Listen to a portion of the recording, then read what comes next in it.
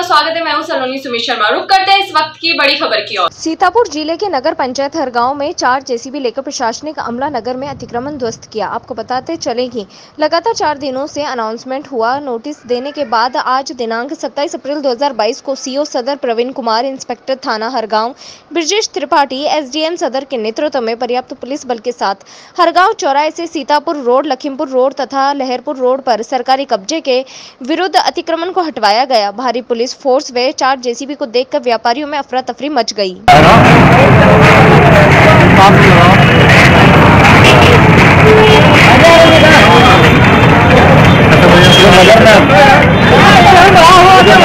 हटाया जा रहा है इसका क्या आधार है और आगे की क्या कार्रवाई होना है?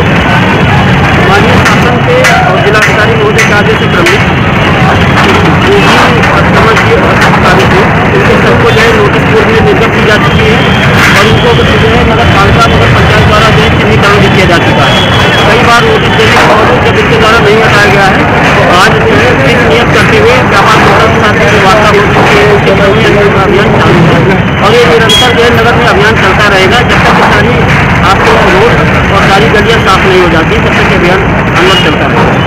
सीतापुर लखीमपुर राजमार्ग है इस पर कौन सा मानक लिया गया है? इसमें दोनों तरफ़ नाली बनी हुई है। नाली ही हम रोड है।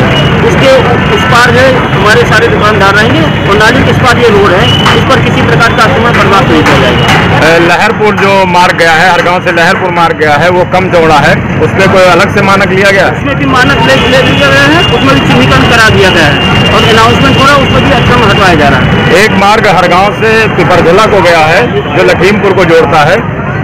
उस पे जो है अभी नाला संभवतः नहीं बनाए कहीं कहीं उस पे क्या मानक लिया गया? है